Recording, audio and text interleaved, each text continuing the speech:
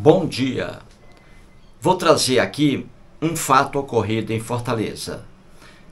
Cheguei a Fortaleza em dezembro de 1975 e saí de Fortaleza para Brasília no dia 12 de abril de 1984. Em Fortaleza, contar aqui um fato que aconteceu com uma vizinha nossa.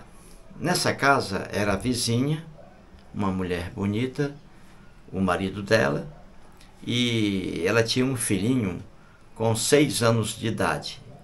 E o, a família tinha dinheiro, boas condições, e havia lá uma empregada doméstica, jovem e muito bonita, a empregada.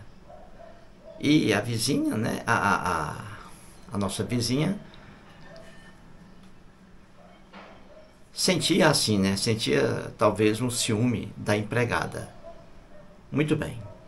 Aí quando foi um dia, o filhinho dela, muito esperto, com seis anos de idade, veja que criança inteligente.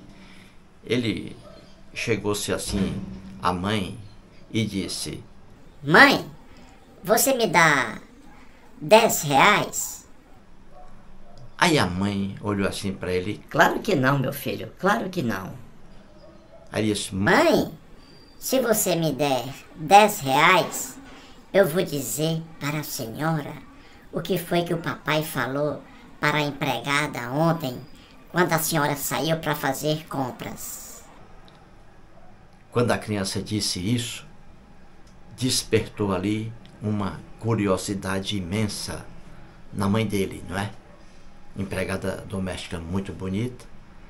E aí o garoto dizendo que ia falar para ela o que foi que o pai dele disse para a empregada quando a, esposa não estava em casa. Aí ela ficou muito curiosa para saber disso. Aí ela topou. Ela disse assim: Tudo bem, meu filho. Tá aqui. Tome os 10 reais. Agora o que foi que seu pai disse para a empregada ontem, hein? Quando eu saí?